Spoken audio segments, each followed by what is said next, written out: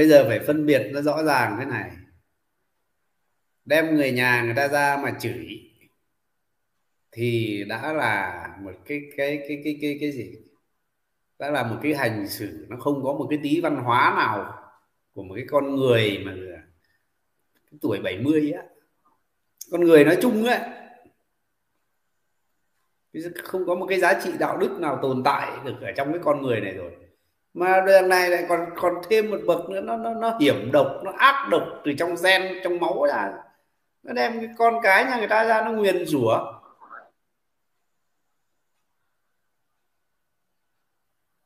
Nó đem ra cái cái người mà đã từng ngồi cùng chiến tuyến rồi đi nhờ đi vả đi đi ăn ngồi ăn ăn đi, đi, đi, lên diễn đàn người ta rồi, rồi, rồi ngồi chầu ngồi trực. Mà bây giờ người ta cũng đem ra nguyền rủa trẻ không tha già không thương. Đúng là cái con rắn độc nó phải nó cắn nó phải thả cái nọc độc của nó ra nó mới nhẹ được người. Cái dạng này nó phải cái dạng người hiểm độc thì nó phải phải thể hiện được cái độc ác của nó thì nó mới sung sướng. Ờ, mấy hôm vừa rồi em cũng có nghe được ờ, anh Trần Phương anh nói anh Viên Hải lên nói về cái câu chuyện mà chú Bình Phương chú ấy xúc xỉm mấy đứa bé thì trẻ đấy, em thấy thật là con người như vậy là không còn gì để để để để nói nữa. Buồn thật sự luôn. Chả hiểu là chú lên trên này, chú dạy cho con cháu cái điều gì mà lại làm có những cái lời nói như vậy. Cái câu chuyện này là cái câu chuyện mới nhất ấy, là lấy cái kinh siêu độ ra.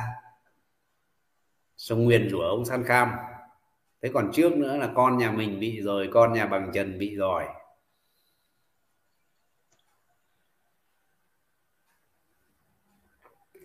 Thực ra là bây giờ nghĩ mấy hôm cũng cảm thấy là cái cách cái cách tấn công trực diện như là ông Vũ Tuấn hay là của Trần Phương mình cũng nói thật sự cũng như bằng Trần như Hà Trần nói mình cũng không vui cái chỗ đấy thế nào nhưng mà đến bây giờ mình mới nghĩ lại thấy giật mình trẻ ông tha già ông thương chửi người ta thì đã quá đáng lắm rồi.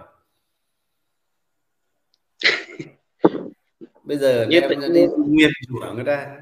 Luật sư mỹ thách đấu quá trời quá đất mà chửi xúc phạm nhiều lắm mà sao không thấy siêu độ gì cho cho anh ấy nhở? Mà lại lại nhầm vào vào nhầm vào, vào, vào chú San Kham với lại mấy cái người con cái của người khác đi đi đi đi chủ éo là sao nhỉ? Kỳ công bằng thế này này. Ông San Kham thì chẳng bao giờ phải là con của ông Bình Phương cả. Nhưng ông Bình Phương nói là tụng kinh cho người chết, cái thằng con tôi mới chết. Thì cứ hiểu là con trai ông ấy đi. Mà mọi người cứ thành kính phân ưu với ông ấy. Tôi không phân ưu, chứ đừng có nói là thành kính không phân ưu cái gì cả. Chả có cái thằng bố nào mà ngồi ngồi ngồi để siêu độ cho thằng con mà nó lại nguyền rủa con mày bay khỏi trái đất rồi là con mày đầu thai vào cái đạo súc sinh cả. Ra là nó còn ác cả hơn quỷ. Nghe nghe nghe báo là ba mấy tuổi mà? Nghe báo là 30 hôm qua nghe cụ Vũ Tuấn báo là 30 tuổi. Chả biết hai mươi mấy hay 30 tôi cứ cho là 30 30 hơn đi vâng. Nhưng mà nếu mà đi siêu độ kiểu gì mà đi làm cái động vật cái thằng đấy mà nó chết thật đấy. Cái thằng con của ông Bình Phương mà nó chết thật để ông ấy ngồi ngồi tụng ngồi gọi siêu độ cho nó ấy thì chắc là nó chắc là nó chưa hết kiếp đâu. Nhưng qua là nó thấy bố nó cái nghiệp ác của bố nó lớn quá nó gánh hộ. Sao lại lại đi siêu độ vào cái xúc xanh nhỉ ba đường ác nhỉ siêu độ ta siêu độ nó với mọi người trở lên chứ tự nhiên đi vào xúc xanh là là thật đấy. Đấy. Tôi đã bảo mà. Bằng nó bảo được anh biên ải mới bảo đếm có 17 cái lỗ thủng. Bằng nó bảo nó nó đếm ra mà có mà vô số ấy. mà thực sự đây vô số thật đấy thì có mỗi một lực mỗi hai cái clip thôi. Đấy còn chưa đào nhá tao còn đầy nữa. Cái lỗ thủng kiến thức đấy. Mọi người cứ bảo là dừng lại câu chuyện này đi. Nói là tôi cũng bằng chân nó mở ra cho không phải là một lần nữa hai lần mở ra con đường để cho ông ấy dừng lại đấy. Nhưng mà ông ấy có dừng đâu. Kể như sống với con người mà già rồi ấy, để cho con cháu nó biết nhìn vào ấy. Ông ấy ông ấy sống ông biết khiêm tốn. Ông ấy sống tử tế thêm một tí nữa ấy, thì có những cái sai lầm thì người ta có dễ dàng người ta bỏ qua.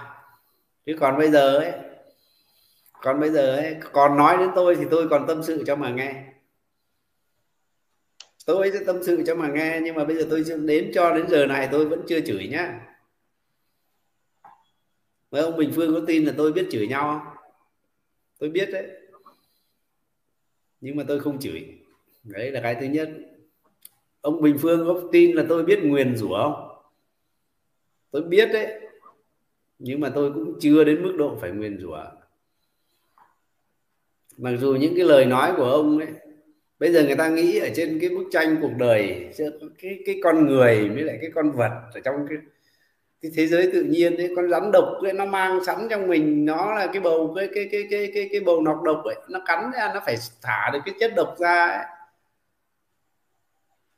thì mới đạt yêu cầu à? Nó mới nhẹ người được à? thế còn cái con người nó có cái sẵn cái tố chất hiểm ác độc ác trong người ấy, thì luôn luôn nó mỏng môi nó hóng hớt nó hóng hớt chỗ này thì nó bắt đầu nó bơm thông tin sang chỗ kia rồi nó xả ra qua cái lỗ mồm của nó những cái gì nó nó độc địa không kém gì cái nọc độc của con rắn ấy. Không? Đấy là cái thứ nhất. Cái thứ hai tôi cũng cảm ơn ông. Nhờ cái sự độc địa của ông Phương Thành Ngữ cho nên tôi mới ngộ ra được những cái điều như thế. Bây giờ mà ông nhạc sĩ ông ấy sáng tác ra một cái ờ, bản nhạc thì ông ấy làm vui tươi. Bởi vì ông ấy thỏa mãn được cái ý thích cái tâm hồn của ông ấy gửi gắm bằng cái ngôn ngữ âm thanh. Một họa sĩ người ta vẽ ra được một bức tranh ấy, thì người ta cũng thỏa mãn được cái sở thích cái tâm hồn của người ta gửi gắm những cái điều muốn nói vào người ta khoan khoái lắm. Cái ngôn ngữ của người ta là ngôn ngữ bằng sắc màu. Con rắn độc nó nhẹ người nó cũng khoan khoái bởi vì nó thả được cái bầu độc. Con người hiểm ác ấy. Trong lời nói của nó ấy, phải đầy đủ được cái vừa đủ cái thâm hiểm và cái ác độc thì nó mới thỏa mãn được chắc là ta rồi thầy. Nói tóm lại là mình vẫn lặp lại. Mình vẫn lặp lại cái ý kiến gì con rắn thả độc là nó sung sướng. Ông họa sĩ vẽ được cái bánh tranh đẹp là ông ấy sung sướng. Ông nhạc sĩ sáng tác được khúc nhạc là ông ấy sung sướng. Trước trơn là sung sướng tự thân với bản thân của các ông ấy đã. Con người hiểm ác nó mở mồm ra được nó phải thả được những cái gì, những cái những cái âm mưu, những cái cái gì độc ác ra để nó hãm hại được người khác thì nó mới là cái sung sướng của nó. Nói bảo con cá sống vì nước, con người này là phải sống vì ác. Nó là cái ác này nó là một cái cái cái cái thuộc tính tự nhiên. Nó là cái thuộc tính tự nhiên, nó là cái thuộc tính bản chất rồi Đấy cái kiểu như bây giờ mà anh hùng phải có đất dụng võ ấy. Đúng không? Bây giờ người ta có cái câu, bây giờ là có thể đuổi đuổi được một con khỉ ra khỏi một cái khu rừng ấy. nhưng mà tôi đố thiên hạ đuổi được khu rừng ra khỏi cái đầu của con khỉ ấy. cho nên con người nó có cái bản chất độc ác, nó hiểm độc như thế này ấy. Buộc lòng nó nói phải như thế. Nhưng mà nó là, nó nguy hiểm nó lạ lùng nó nguy hiểm ở cái chỗ là lúc nào nó cũng mặc vào cái áo là bảo vệ nền tảng tư tưởng của đảng. Đấy. nó dạy dỗ cho những cái thế hệ trẻ biết ờ, lịch sử nước nhà để bảo vệ chế độ ấy. À, đấy, nó mới hoành tráng. Thì đấy cái đó cái chết là ở đấy thầy. Tưởng đỏ mà lại là không phải là đỏ lợi dụng vào lòng yêu nước lợi dụng vào phong trào yêu nước lợi dụng vào phong trào ờ, phản bác phản biện trên không gian mạng. Cái tiêu chí đặt ra nghe rất là kêu